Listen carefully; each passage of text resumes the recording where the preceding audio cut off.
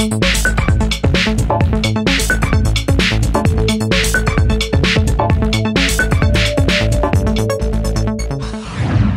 week in 1880, Francis Clark and M.G. Foster patented the electrical hearing aid.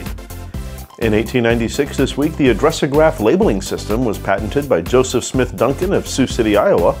This week in 1967, Soyuz 1, a Russian manned spaceflight carrying cosmonaut Vladimir Komarov, was launched into orbit. He completed 13 orbits around the Earth before re entering the atmosphere and ultimately losing his life when the spacecraft's main parachute failed to open. He was the first human to fly into space twice and the first to die during a mission.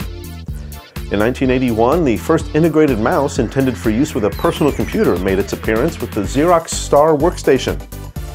In 1994 this week, Commodore International, maker of the popular Commodore 64, VIC-20, and Amiga systems, faded into history as it declared bankruptcy and met its end.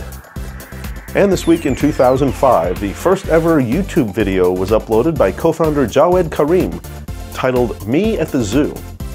That's our look back at This Week in Tech History brought to you by IFA in Berlin. IFA, the Global Innovations Show. 6,000 media representatives, 2,600 from abroad. It's IFA time.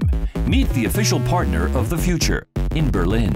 Be sure to check out our website anytime at intotomorrow.com and subscribe to our free podcasts while you're there. We'll catch you next time on This Week in Tech History.